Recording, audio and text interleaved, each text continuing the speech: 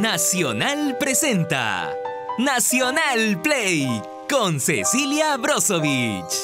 ¿Cómo será el mundo cuando tú crezcas? Daniel López Gutiérrez. Básicamente fue convocar a varias personas con las que había interactuado.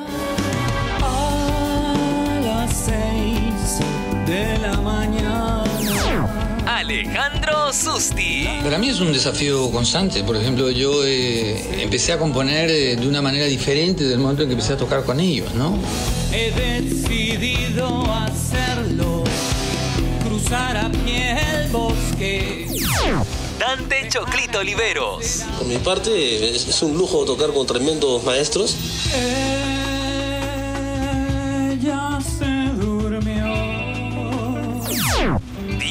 Sue. Que se den un tiempo de escuchar las canciones, quizás podrían descubrir algo que les guste. Ellos son Actitud Modulada.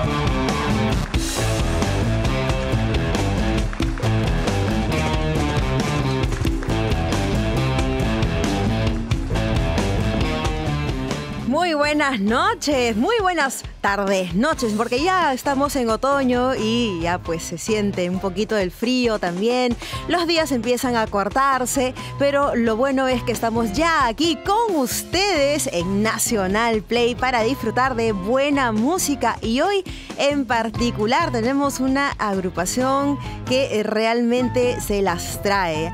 Ellos Inicialmente, bueno, formación de siete, pero hoy tenemos a cuatro, ¿no? De los integrantes. Son unos capos de capos, de recontra capos. Me quedo corta.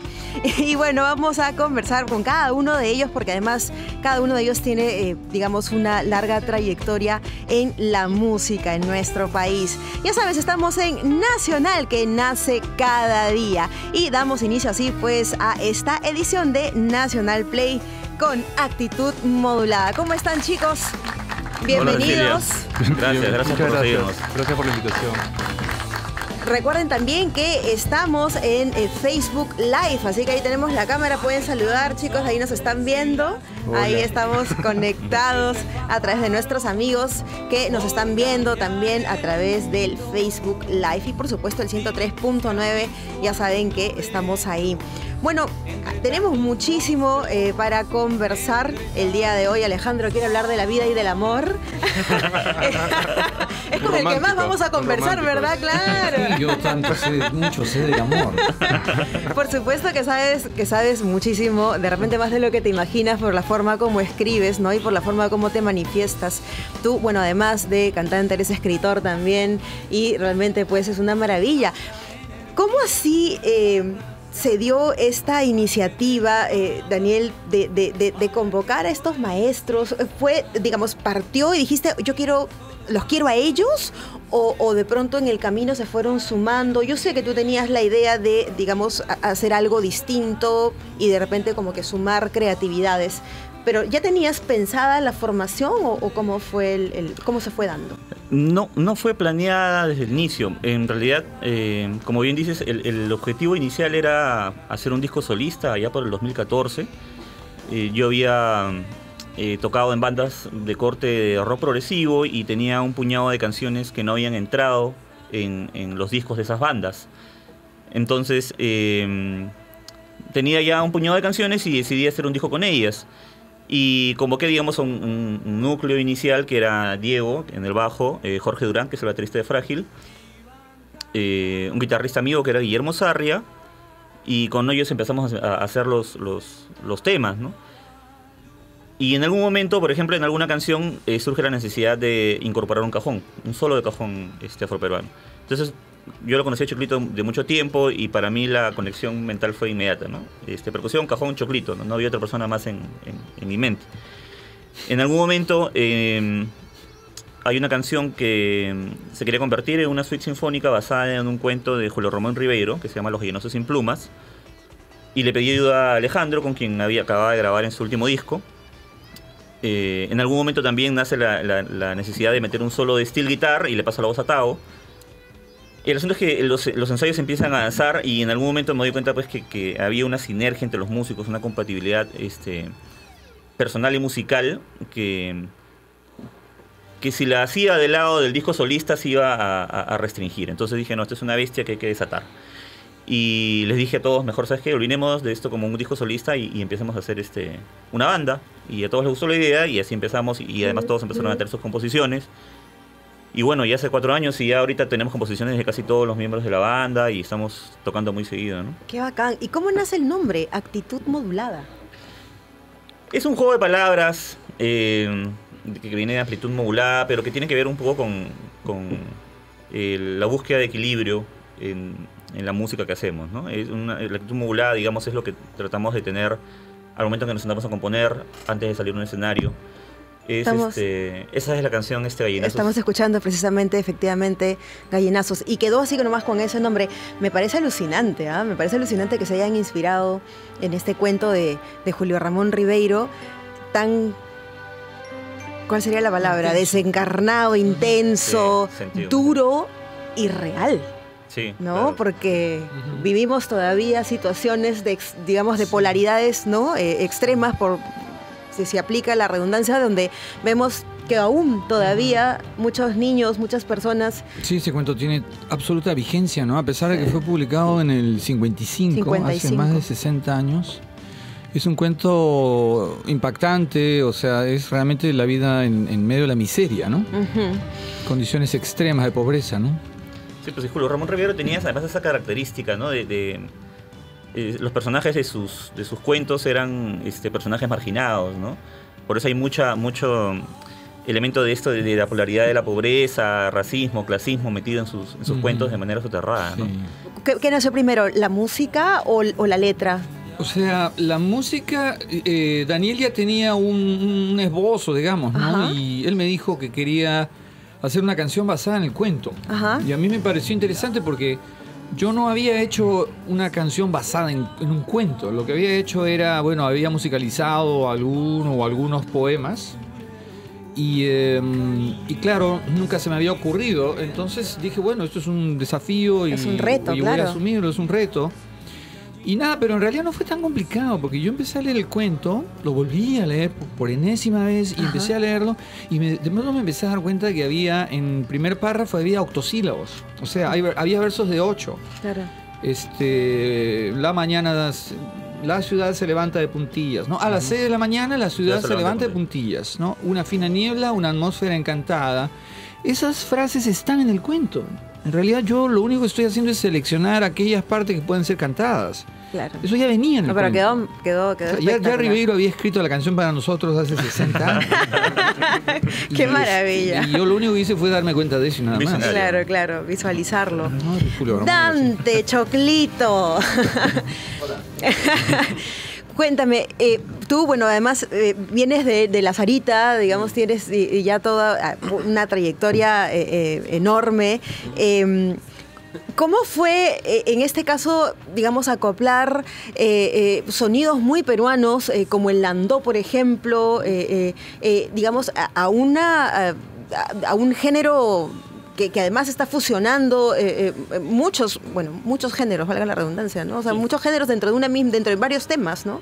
¿Cómo, cómo lo, cómo, no sé, cómo fue Bueno, el, la- el acople? locura parte por Daniel, ¿no? Que había un tema que se llama Demon, donde inicialmente yo participo con un solo de cajón. Ajá. Entonces, este, pero poco a poco me fue, me fue orillando a los ensayos. Y entonces, este, ya gran parte de la música estaba hecha. Y, y el rock progresivo que es, es tranca, en verdad, ¿no? Eso es, un- eso es, es difícil eso ahí, los eso es lo que- cortes, Eso es lo ¿no? que yo quería remarcar, porque yo sufro de muy poca, me- tengo muy poca memoria, además. mi disco duro es muy limitado. y entonces, este, aprendí mucho con ellos, ¿no? O sea, el estar presente en los ensayos, pues para mí es una- un harto aprendizaje, porque la música progresiva tiene paisajes, ¿no? Que, en realidad me, para mí eran nuevos, porque yo he tocado música, mucha música peruana.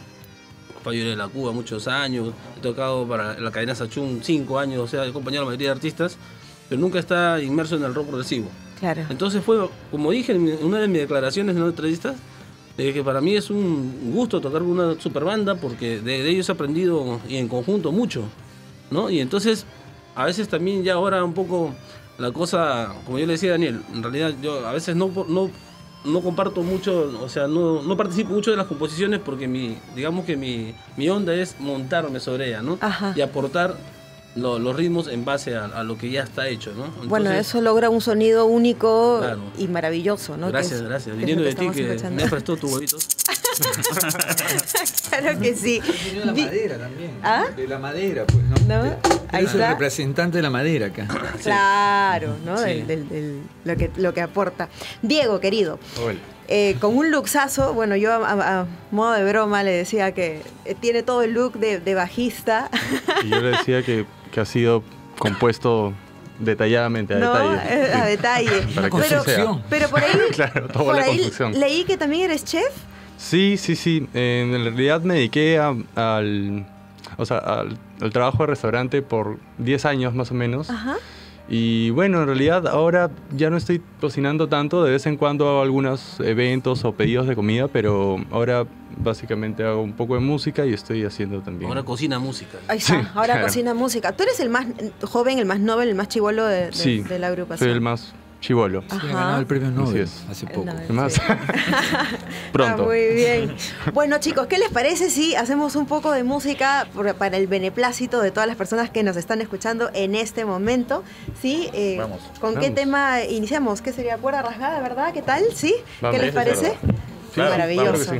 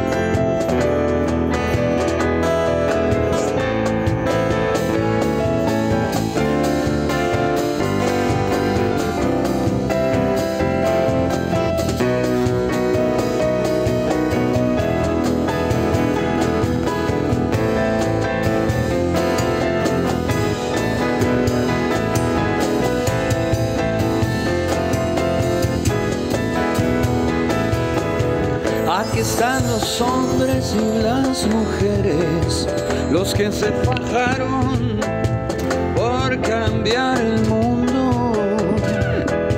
Dime tú si has visto alguno de ellos entre tantos rostros, entre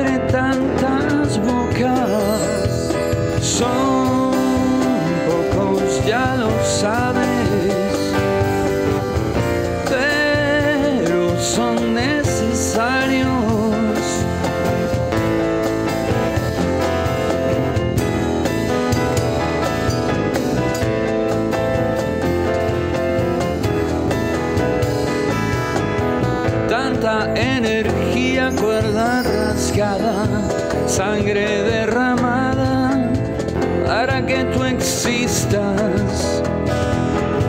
Y tan solo basta con un segundo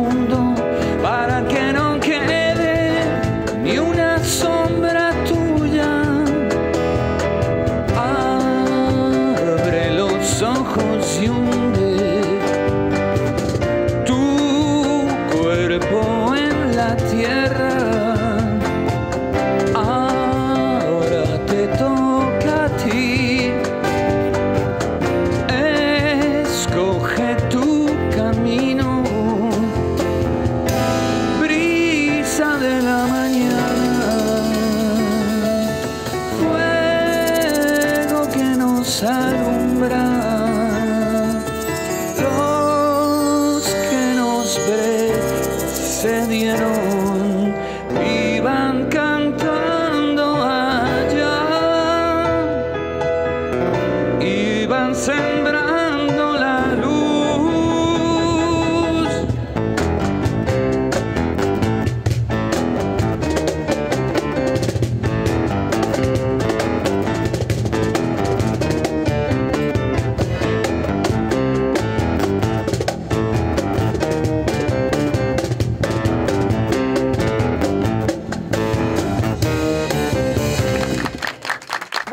Maravilloso, maravilloso. Eh, escucharlos, escucharlos tocar en vivo es como ver magia, un espectáculo de magia.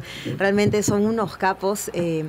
bueno, eh, además yo soy una firme convencida que cuando se hace música, incluso imagino que les debe haber pasado en, en los primeros encuentros que se dé esta magia, ¿no? Esta magia de repente de leerse telepáticamente, ¿no? Eh, de repente sin conocerse mucho, sin haber sido amigos, sin haber sido, qué sé yo, patota de barrio, pero esa conexión, esa conexión, y eso es lo que se refleja, se ve y se siente en, en sus producciones. Bueno, hablemos de cómo se dio eh, todo el trabajo arduo. Todos sabemos y estamos al, tanto que hacer música en nuestro país es difícil. Por más capos que sean, igual siempre hay que saltar ciertas vallas, ¿no? Y creo que en el caso de ustedes no fue distinto. Así que hablemos un poco, pues, cómo fue esta primera presentación en el Cocodrilo Verde. Y tengo entendido que hicieron algunas campañas para auto, ir autosolventando eh, eh, esta producción. Es más, ustedes eh, en el disco que, tengo aquí en mis manos para los amigos del Facebook Live, tenemos acá un disco que es eh, disco y eh, DVD, maravilloso, una presentación de lujo. Y bueno, acá precisamente producción musical a cargo de todos y cada uno de ustedes. Cuéntenme un poco cómo, eh, cómo fue este, este camino un poco duro a veces, ¿no? Sí, em, a ver, nosotros hemos tratado de ser eh, lo más ambiciosos posibles en cada paso que hemos dado eh, para hacer este disco. Eh, queríamos eh, dar una primera buena impresión en general. eh, eso empezó por hacer una selección de los temas apropiados para que vayan en este disco, porque teníamos un repertorio mucho más amplio, que todavía lo tenemos en realidad. De hecho, estamos componiendo más rápido de lo que sacamos discos. Ahorita tenemos ya un segundo disco en camino también y, la mitad de un tercero. Pero en este en especial lo que hicimos un poco fue buscar primero un buen ingeniero de mezcla, eh, que fue Oscar Esteban Cole, que es un ingeniero peruano muy reconocido, es egresado de la School of, of Sound Recording de Manchester. Ha sido doblemente nominado al Grammy Latino en el 2017 por su trabajo con el disco de Achabuca.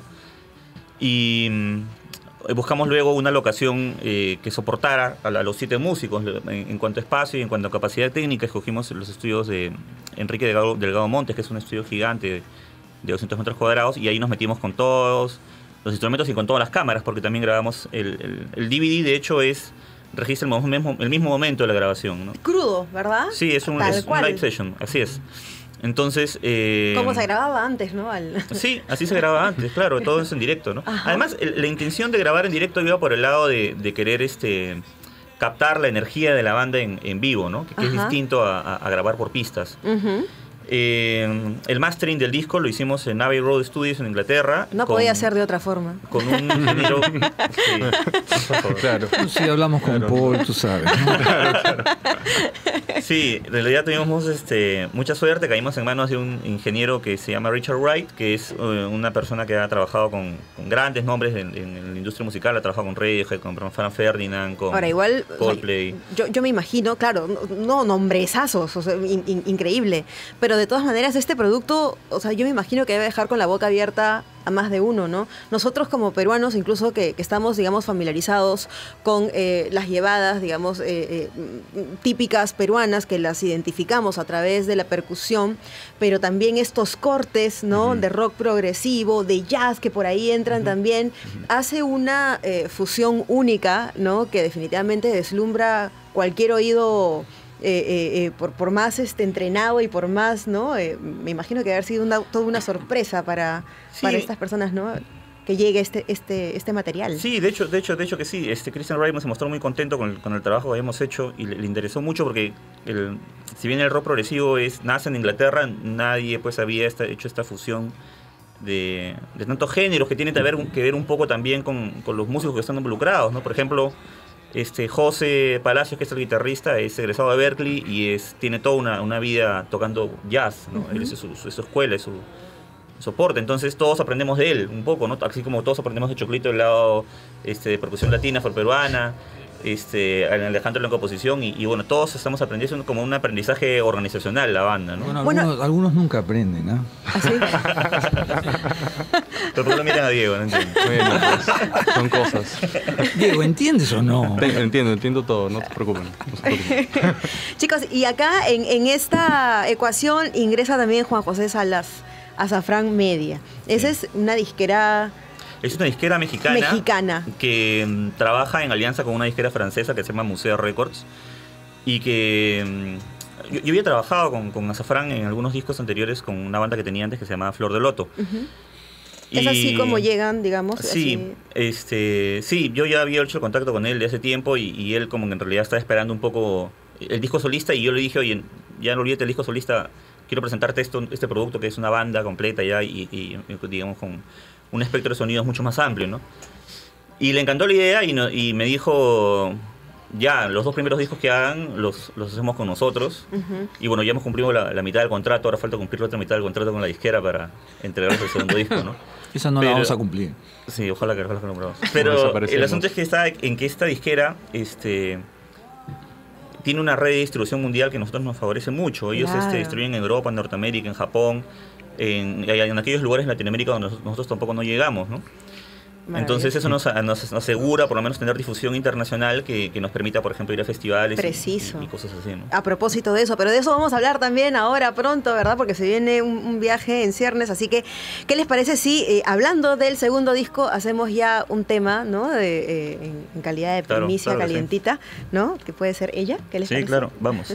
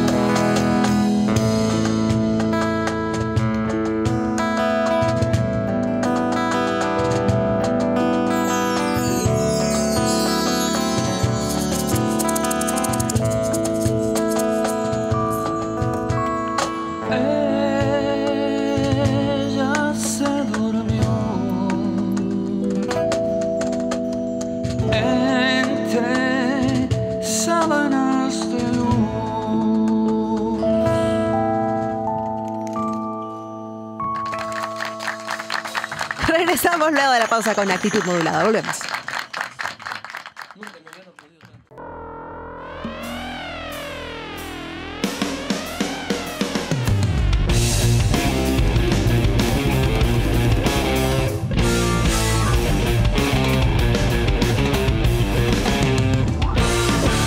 Muy bien, ya estamos nuevamente aquí en Nacional Nace cada día con esta agrupación que son unos capos, ¿verdad que sí? Actitud modulada. Y estos chicos, eh, eh, digamos también dentro de la música que hacen, también tocan instrumentos que de repente para vista de muchos pueden ser instrumentos muy raros que probablemente eh, nunca han visto muchos de ustedes. Yo también me sorprendí la primera vez que vi un theremin, ¿ah? que también es uno de los instrumentos que utilizan, digamos, y que acoplan en las producciones. Y esto tiene que ver un poco también con algo que no se ha visto antes en el escenario y es una formación, como dije un inicio, el septeto, todos, eh, y de repente algunas canciones que implican que solamente vayan cuatro, otras que, que vayan cinco, y bueno, y otras que vayan todos juntos. Eh, esto, digamos, nació natural, nadie compite, digamos, todos se apoyan, es, se- No. se, respira este... Sí, en, en realidad hay un como que un este principio rector este asumido que es que la música siempre es más importante que los músicos. Entonces, si alguna canción necesita tres músicos, cuatro músicos, tocarán tres músicos, cuatro músicos. Si requiere a los siete, tocaremos los siete. Eh, esto va un poco por también dejar de lado los egos y hacer que, el- que la música sea el, el- el- norte principal Claro, para todos. Claro, ¿no? claro. Y este y sí, pues también metemos varios instrumentos este poco usuales, todos en realidad, porque tienen todos tienen algo de instru- multiinstrumentistas, ¿no? Eh, en el caso de Tao, por ejemplo, toca el theremin. eh, Yo también toco el theremin junto con él en, una canción que se llama Demon.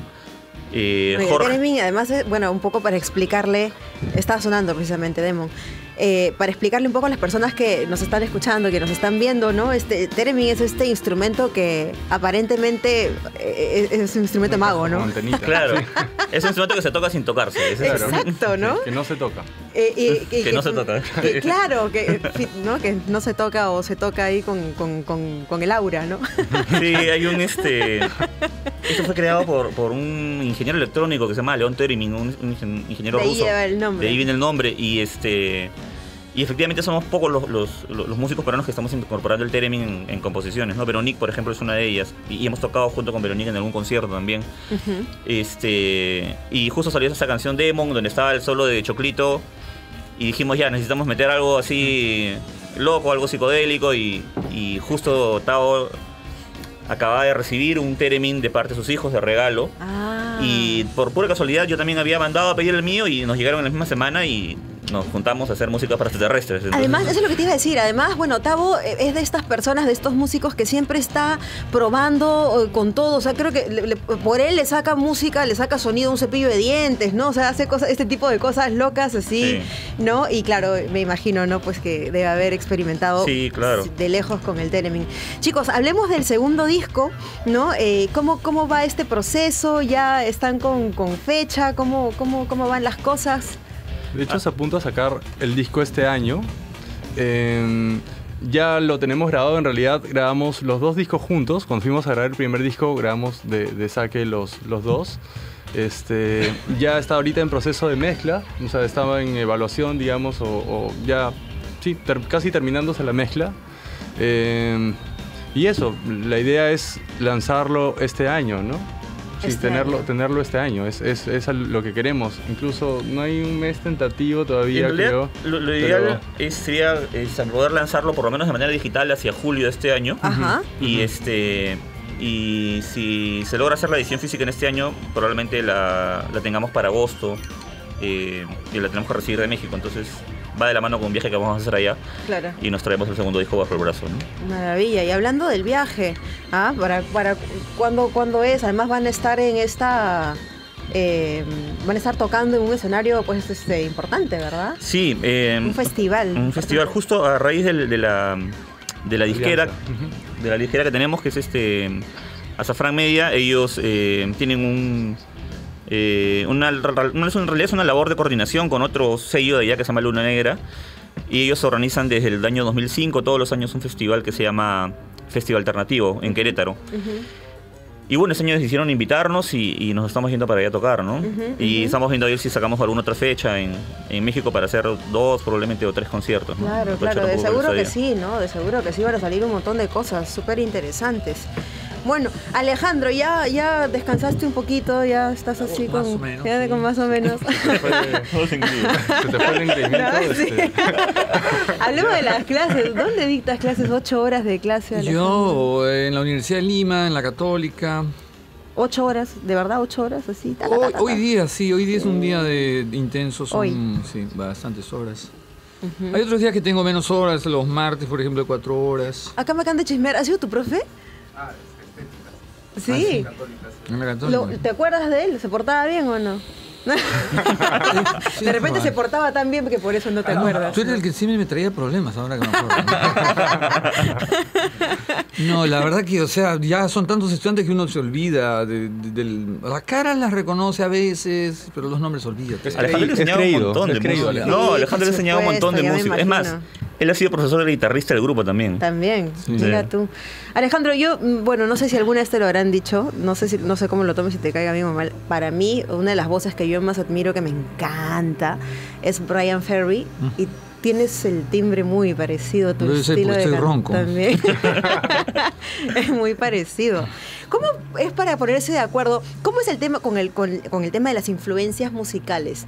Todos, digamos, pueden decir, ah, yo también soy fan de esta banda, sí, y, y un poco como que amalgamaron en eso, o vienen de, de- de corrientes muy distintas. Evidentemente, Choclito, mm, me imagino que sí, ¿no? O sea, tú estás Claro. más centrado en lo peruano. No, no, no creas también. O sea, este, dentro de la onda del cajón yo Ajá. desarrollé mucho el flamenco también, ¿no? Ay, ay, ay. O sea, y entonces eh, ahí pude amalgamar algunos compases del flamenco dentro también de alguna de, alguna de las composiciones.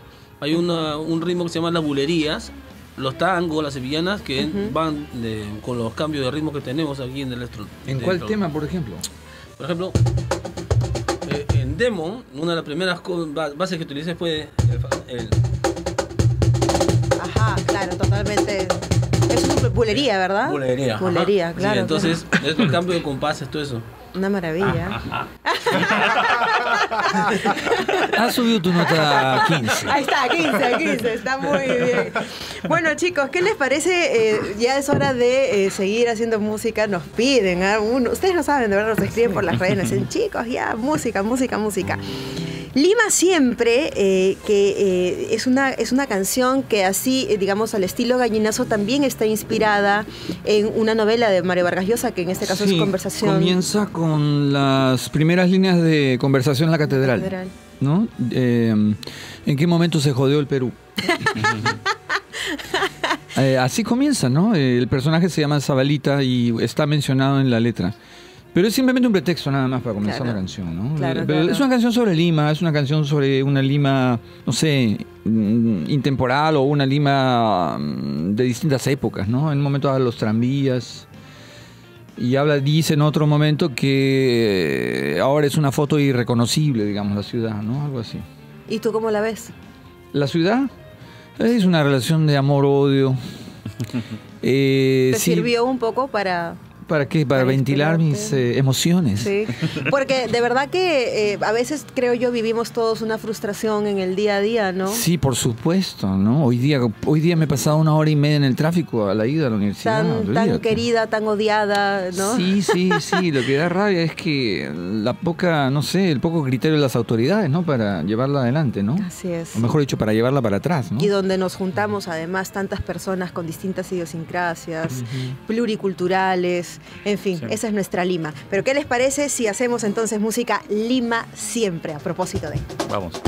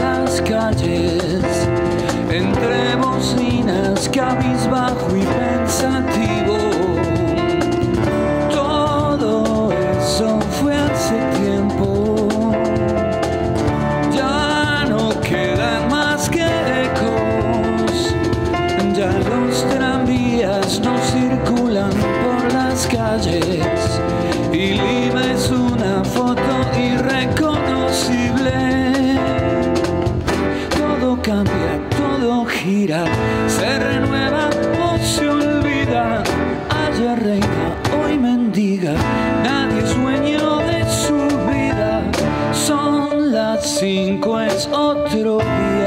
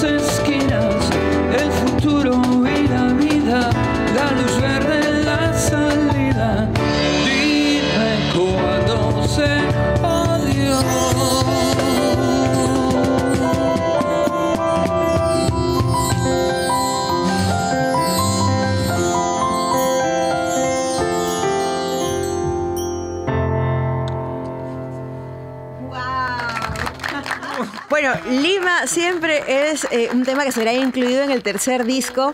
Ahora, acá se pasaron, chicos. ¿ah? Yo he escuchado ahí también algo de eh, Bayao, ¿no? Un bossa. eh, Empezaron como un rock. Se fue- De ¿qué? eso te hablaba. Eh, es el que lleva todos los cambios de Oye, pero escúchame, no, chicos, ya, perdón, tranquilo. Diego, por favor, acá pueden decirle. Muy bien, ha estado Choclito. ¿ah? Sí, sí, sí, no te Además- mal, Cholito, no te mal. Choclito se ha subido a Está bien que- 16 ahora. Está bien que lo extrañes, pero este, de verdad que he estado muy, muy bien. No, gracias, gracias, gracias. ¿Qué nota le pones, Alejandro? Ya le puso la nota. Así ¿No ya. escuchaste? No te 16. escuché, no te Sí, escuché. 16. Sí, la nota es ahora 16. Ah, ya. Bueno, ahí está, hemos subido, hemos subido, ¿verdad? Doy aplausos. Aldo, seguro. Aldo, está mandando. Qué capos, qué ambiciosos, chicos. Eh, bueno, eh, me encanta. Ah, eh, quería mencionar, el primer disco se agotó.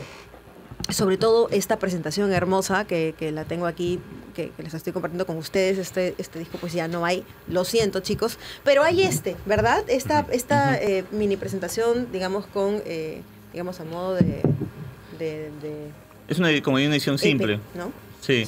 Es un temas. este es solamente el CD, no es la edición este Solamente simple que hemos CD, sacado para correcto. digamos cubrir un poco la demanda de la gente que no pudo tener el, el deluxe y ¿Han pensado por ahí sacar eh, en vinilo también algún...? sí, que queríamos que en realidad quisiéramos sacar en vinilo, o queríamos sacar en Blu-ray, ¿no? Estamos ahí haciendo los contactos para ver si, si se puede hacer. Claro. Porque el vini- vinilo de hecho requiere un mastering especial, entonces también hay que hay que hacer otra inversión en Y eso. es otro sonido también. Es otro sonido, sí. Bueno, y, y el disco ha sido grabado en, en, eh, para los que sepan un poco de, de audio, en 192-48, es decir, en la resolución de audio más, Más alta. más alta que hay, ¿no? Ajá. Mejor que la de Blu-ray inclusive, entonces podemos adaptarnos a cualquier formato en, cuando se- decidamos sacar más productos. ¿no? Ajá. ¿Y cómo es eh, eh, en el escenario? Bueno, hablábamos hace un momento, ¿no? Eh, a, a veces en- entran los siete, a veces eh, van cambiando. No todos los temas son cantados, ¿no? Hay algunos temas que también eh, en ese momento descansas. O, igual te requieren con la Justo guitarra. para No, eso fueron creados. Para que Ah, para eso fue Para que pueda Todo está descansar planeado, todo está Alejandro. fríamente calculado. ¿no? Como viene de clases a tocar, Claro, claro. Ocho horas, Un claro. ratito, no para. Me esperan mientras llego en la taxi. Calza. Para lubricar las cuerdas un ratito, descansar, meditar y ahí vuelves con furia. bueno, se viene, eh, se vienen cosas muy interesantes, muy importantes. Bueno, este eh, tercer disco eh, tiene también, digamos, ya fecha, lo tienen pensado, recién lo están armando, están. Estamos terminando de armarlo en realidad. Este, ahorita debemos tener eh, probablemente el 40% del disco listo y unos cuantos temas más que tenemos que, que ensayar y desarrollar. ¿no? Ahorita queremos eh, terminar de, de que todo el, pri- el primer disco este que hemos sacado termine su, su etapa de difusión, de, de, Y de los compromisos que ha acarreado también. Así es. Ajá. Y después de esto ya menos meternos con, con, con todo al, al segundo disco. ¿no? Bueno, y hablando de eso, pues hablábamos hace un momento de este eh, próximo viaje, ¿no? Donde van a estar en el Festival Alternativo en la ciudad de Querétaro, en México. Y también eh, tienen una presentación, ya, ya, ya, a portas, el jueves 11 de abril, Así es, en, la noche. noche, La de noche de Barranco. Barranco. Vas a vernos, ¿no? Por supuesto. Por Estás supuesto. cordialmente invitada. Muchísimas gracias. Muchísimas gracias. Por supuesto, estaría en Oye, primera fila. también, también, también te- tenemos que invitarlo acá al hombre del sonido. También, también. A roto, toda la gente de producción está invitada. Así es. Muchas gracias. Bueno, me chismean. Acaban de estrenar un video ese día. Sí, es uno de los videos que, que, que fueron publicados en el DVD, eh, que es el único que no ha sido difundido todavía en nuestro canal oficial de YouTube. Que es una canción de José Palacios, el guitarrista, que es un poco distinto a todo lo que has escuchado ahora, porque la canción sí es más jazz, ¿no? Es más jazz rock y, y se toca en formato de cuarteto esa canción. Entonces, Ajá. este, ese día vamos a hacer el ¿Quiénes, estreno. ¿quiénes eh, eh, participan? Eh, Jorge Durán, el baterista, eh, Diego Su, eh, José Palacios y yo. Ajá. Wow. Ahí sí te dejan descansar, Ahí Choclito. descanso. Ah, Descansas con Alejandro y se cuentan chistes. Manos también. Me, voy a- me voy al foniatra No, en realidad eso, ah, yo, yo pude haber sido parte de, de- Ya hubiésemos sido cinco. Lo que pasa es que ahí consideré yo Justo que... fuiste al baño y, y armaron No, o sea, consideré que ahí el trabajo del tema es espectacular. Tiene unos cambios muy buenos la composición. Entonces yo dije, le dije a la banda, no, yo creo que eso ya corre solo porque tiene una onda así muy bacán. Es un muy Qué buen trabajo. Qué maravilloso. Bueno, ansiosa, ¿no? Ese día lo van a lo van a proyectar con, con video y todo. Bueno, y hablando un poco de relajarnos, ¿no? Eh, este es el momento, pues, que nosotros llamamos nuestro camping play, ¿no? Que eh, nos trasladamos a un lugar con olas, con el mar. Supongo que a todos les gusta el mar, ¿no? A mí particularmente me encanta. Alejandro ha venido ya con su camisita y todo. Sí, ahí yo está. acabo de estar en el Océano Índico. Así. ahí está, ahí está, mira. Un mar con gaviotas, ¿no? Eh, tenemos también fogata, ¿no? Tenemos fogata. tenemos todo, tenemos todo como para poder trasladarnos, relajarnos. Y esto, por supuesto, implica también eh, hacer una canción, ¿no? Hacer tocar un temita que se pueda prestar para un por una situación de camping, de campamento, de, de unión. ¿Qué canción les provocaría, chicos, dedicarnos, compartir con nosotros? Todos lo miran a Alejandro. Tú eres, tú eres la voz cantante, no hay nada que hacer, ¿ah? Una canción fogatera, ¿no? Claro. Claro. De campamento. De campamento. Eso es este para que lubriques las cuerdas. No es que no tengo mucha letra. Si quieres, improviso ahora algo. ¿Qué les provoca, chicos, compartir el día de hoy? con sé, la, la quinta sinfonía de Beethoven, ¿no? Podría ser. Se presta, ¿no? El cajón se presta para eso. Claro. Vamos con eh, Todas las hojas son del viento, una canción de Luis Alberto Luis Spinetta, Alberto Spinetta. que es un músico que eh, admiramos mucho dentro de la banda. ¿no? Es una gran influencia también de, de actitud modulada, de hecho. Maravilloso. Bueno, entonces vamos a escuchar esta hermosa canción. Todas las hojas son del viento.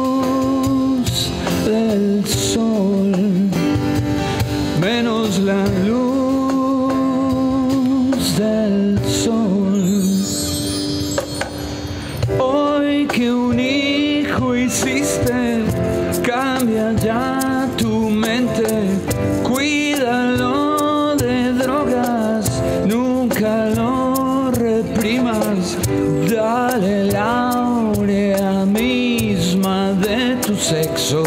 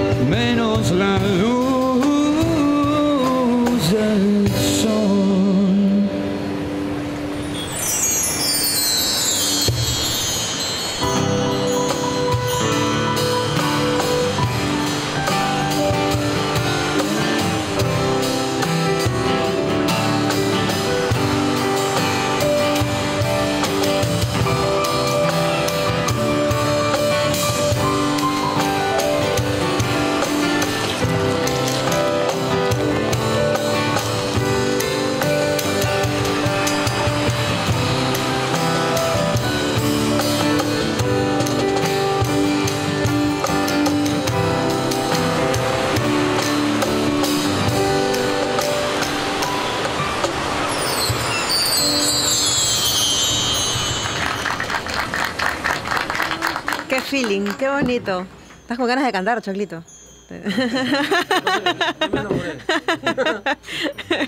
Qué lindo. Bueno, entonces, eh, nuevamente eh, hablar un poco de este concierto el jueves 11 de abril, atentos todos. Y también, eh, bueno, pueden estar, por supuesto, eh, eh, al corriente de todos los movimientos de la banda a través de las redes, ¿verdad? Sí, estamos en todas las redes, eh, en Facebook, Instagram, eh, Twitter, y tenemos una propia página web que es www.actitudmodulada.com. Y todos nuestros videos, los, los oficiales del DVD, eh, están también en nuestro canal oficial de YouTube. Ahí también este, eh, hay bastante material de, de video, de presentaciones, de sesiones en vivo que hemos hecho. ¿no? ¿Cómo hacen para coordinar con los tiempos? Eso es una curiosidad. Una vaina. Una locura, doctor. Eso, eso el pasa, eso pasa cuando se piensa en banda, ¿no? Ajá. O sea, en realidad todos están bien comprometidos eh, con, la- con los ensayos, porque se sabe que lo que hacemos no es, no es sencillo, ¿no? Sí. Pero uno, uno de los que más falta los ensayos soy yo. Ah, sí. Ah, mira, justo, hace un mea culpa. ¿no? Pero lo bacán es que ellos... Por eso digo, tiene al grado de 16 ahora. Será castigado. el- 19. Ahora va, va a bajar su nota, me imagino. ahora, este, Alejandro. Ha bajado, su nota era evide- era evidente, ¿no? Claro, Era la que no confiese eso, que no lo diga. asistencia que es Sí, muy ha caído, ha caído. Ha caído. Pero no, bacán. expuesto. eso- eso- ¿Qué va a decir la gente ahora? Una lástima, ¿no? Era un chico que prometía, ¿no? pues. Chicos, una, una última pregunta ya para despedir. ¿Qué es lo que sigue? Porque ustedes son una agrupación muy ambiciosa, todos son músicos con un- una larga trayectoria, eh, hacen maravillas eh, musicalmente hablando. ¿Qué es lo que sigue? ¿Qué, qué otro reto se van a plantear de repente de cara al tercer disco o, o en general? Bueno, hay un reto que en realidad no se lo hemos dicho a nadie todavía porque lo tenemos conversado desde hace un par de ensayos, que A mí es tampoco, que... man. Tú tampoco sé, sabes, ¿no? Bueno, no ahorita Ahora te vas a enterar, ¿eh? te vas a enterar ahorita.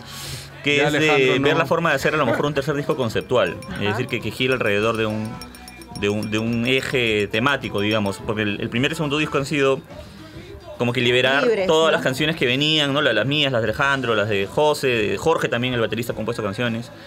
Entonces, este, ahora queremos este, organizar un poco la música y las letras que hacemos alrededor de un concepto, ¿no? Hacer algo, este, no sé, más orgánico, algo, algo especial y también va de la mano con, con, con, este, la, digamos, la, la cantidad de sonidos que estamos metiendo en, en- en- las canciones. Tú te has dado cuenta que, que metemos pues bossa, jazz, rock, Sí. este, blues. Sí. Entonces, este, queremos organizar todo eso alrededor de, de un solo concepto, ¿no? Ahí está. Muy bien. Bueno, entonces ya saben, amigos, jueves 11 de abril en la noche de Barranco. No vayan. Y por, sí, ahí está.